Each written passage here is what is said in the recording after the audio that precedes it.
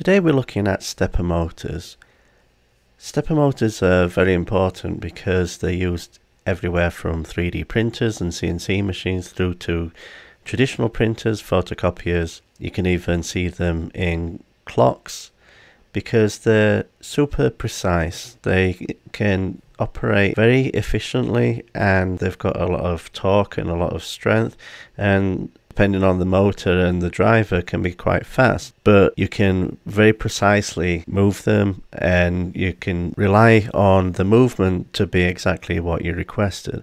And the way they work is they will move in steps based on some very precise pulses and the stepper that most people start with is the 28BYJ48. And from what I understand, originally this stepper was used in air conditioning units and ventilation systems. And it's become so ubiquitous that they're available reasonably priced and used in lots of different situations. And they usually come with a ULN 2003 stepper motor driver, which means that they're easy to use. Now, these operate on 5 volt, they will accept 12 volts, and the more juice you give it, the more capability it will have. But they can be run off the Arduino, just don't expect too much from it. Better for you to use external power if you have it. I'm going to show two really easy examples First is using the default stepper library that comes with Arduino. And there's some debate about what these steppers have as a full revolution, but 4096 seems to work for me.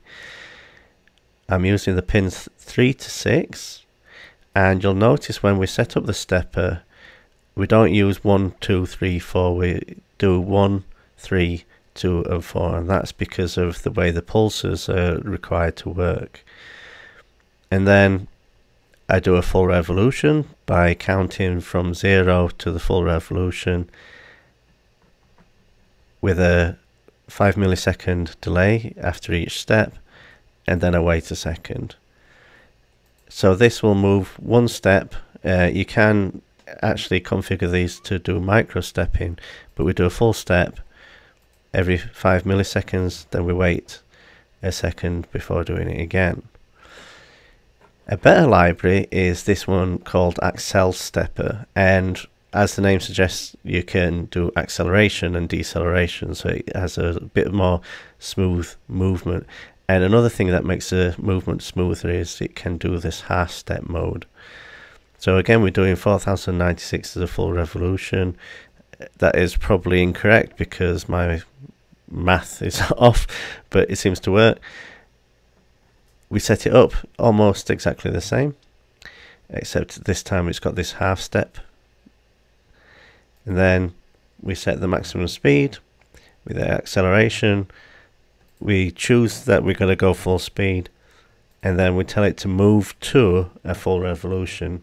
So what this means is you tell it where you want to move to and then it'll navigate to that position and then we say if it's got nowhere left to go, then reverse the movement.